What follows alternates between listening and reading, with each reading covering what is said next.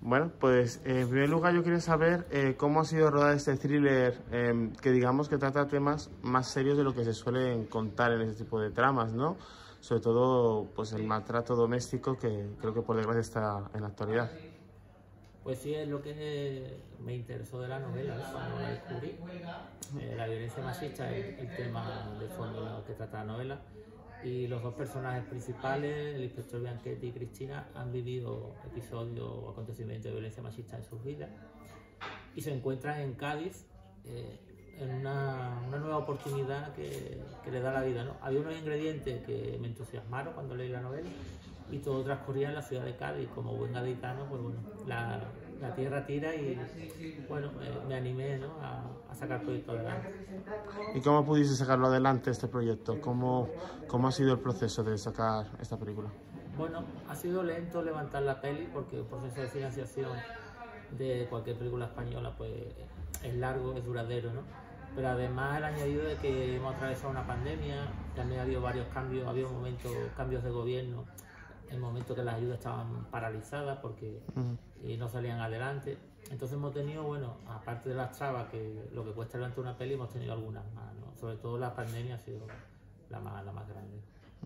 ¿Y tu personaje, cómo, cómo has planteado este personaje que es duro, pero que tiene luego su corazón y sobre todo lo que lleva en la espalda este personaje, que es duro lo que lleva? Sí, es un personaje que es, es muy... Es, es, un hombre cualquiera, podría ser perfectamente un hombre cualquiera, no es ni un héroe, ni un, hombre que va a salvar al, mundo y tal, como...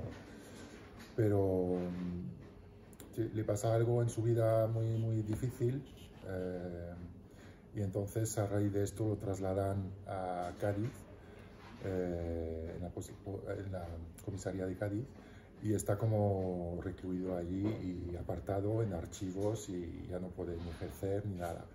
Y, y se encuentra muy, es un hombre muy solo, muy solitario, no quiere ver a nadie, pierde un poco de, de vista su, su mujer, su hija, eh, y entonces eh, está en, en, proceso de duelo y, y, y, y, no sabe cómo salir adelante.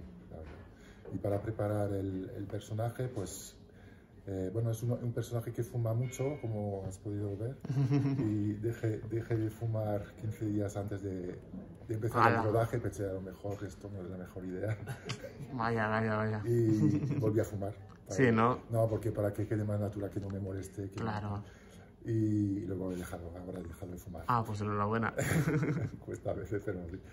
Y, y luego también eh, recuerdo, porque hay, hay algo que, que, que, no, como es mi primer papel protagonista, no sabía cómo empezar el rodaje, cómo meterme en, en este personaje, en la piel de, de, del personaje. Y, y, tuve la idea también, quería estar muy solo yo, como, como Fred, ¿no? Porque vivía, el personaje vive solo, está siempre solo y quería estar solo. Entonces llamé a toda mi familia, a mis amigos, disculpándome, oye, pero voy a empezar el rodaje, mm. entonces disculpadme, pero no, no, os voy a llamar durante todo el rodaje, voy, quiero apartarme de todo y tal. Y dos días después de rodar, pensé, esto es una tontería, no. Y además, quiero, quiero a mi familia, quiero a mis amigos, quiero porque... y volví a llamar, lo siento, pero os necesito. Qué bueno, qué ah, bueno. No, no, no, te lo había contado. Oh, pues qué bueno, no, o sea, tú te ibas a recluir no, tenía completamente. Miedo, tenía sí, miedo ¿no? de, de, qué, qué hacer, qué, cómo sentirme realmente, porque a mi familia les cuento todo. Entonces era contar, contar cada día de rodaje, contar cada anécdota y, y en dos o tres veces. Entonces me, Mucho trabajo. me desconcentraba un poco. Claro.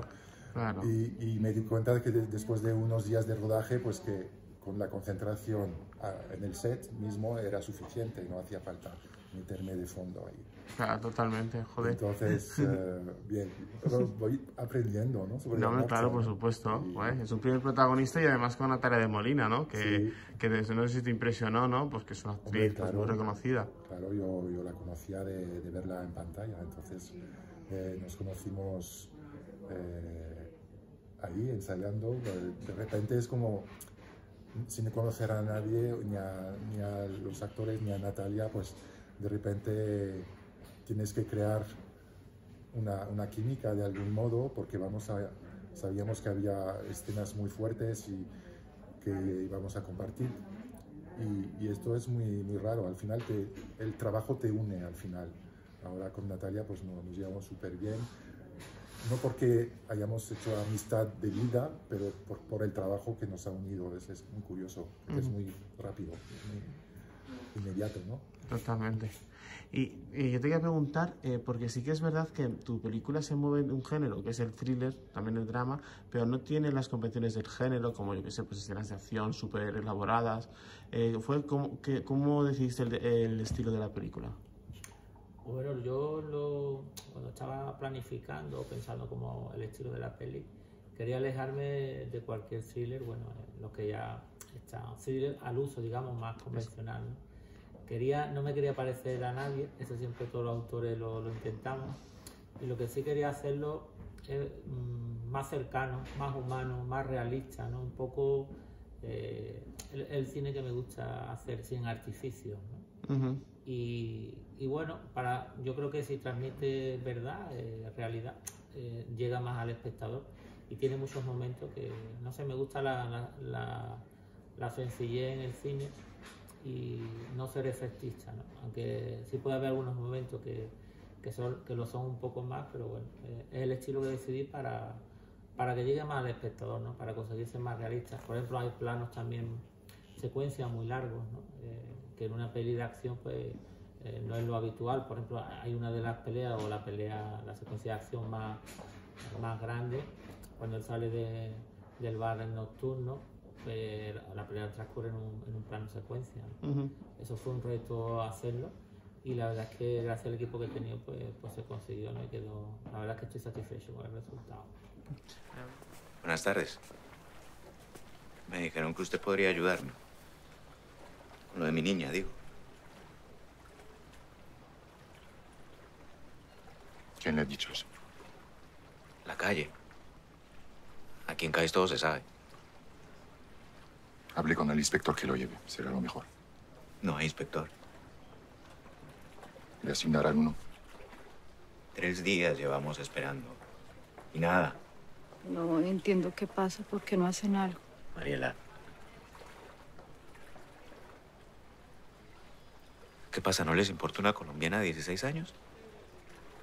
¿Es eso? Tiene que ser española para que ustedes muevan el culo, para que hagan algo.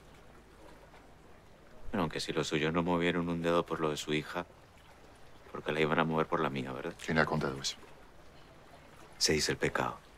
¿Ha habido algún momento particularmente duro para los dos? O sea, en el rodaje, o sea, el momento de decir, joder, pues esto cuesta más sacarlo porque es una escena difícil. Eh, ¿Habéis tenido algún momento así que puedes decir? Pues sí que lo hay, casi a diario, te diría, ¿no? Un rodaje eh, es complejo eh, hacer, bueno, casi cualquier cosa, ¿no? Pero yo me quedo con el final, el final de la peli. Para mí, como realizador, fue lo que más me costó, donde peor lo pasé, ¿no? Porque rodamos de noche, se nos venía, estaba casi amaneciendo, era el final de la película y eso había que hacerlo muy bien. Y tenía la complejidad también que Natalia llevaba una cámara colgada en el pecho, una, una, una body cam, mm. porque la lleva aquí en la cara por una historia narrativa de, de la peli y entonces bueno eso hacía que era más complejo para ella hacer el trabajo y todas las características de la secuencia había mucha figuración había bueno una serie de historias. Yo también quería hacer plano secuencia que de, era en un hospital con la estéril los pasillos bueno fue una complejidad y teníamos poco tiempo y la verdad que por decirle algún momento de tantos no ese fue uno de los que más recuerdo que fueron más duros. Sí una noche compleja. ¿Y, ¿Y para ti algún momento que has tenido para mí, pues, eh, bueno, esta noche es verdad que fue más, más, más, para, bueno, para ti, ahora que lo, lo, dices, pero para Natalia yo creo que ya lo, lo suele contar. Yo tuve mis momentos también para sujetar, sujetar a Natalia, sí. que después de 10 veces como que, que la espalda... Peso, claro. Ay, pobre, claro. Pero bueno, lo, no lo peor, a ver, lo peor. Sí, lo más complicado eh, para mí ha sido la, la, la escena de, de pelea.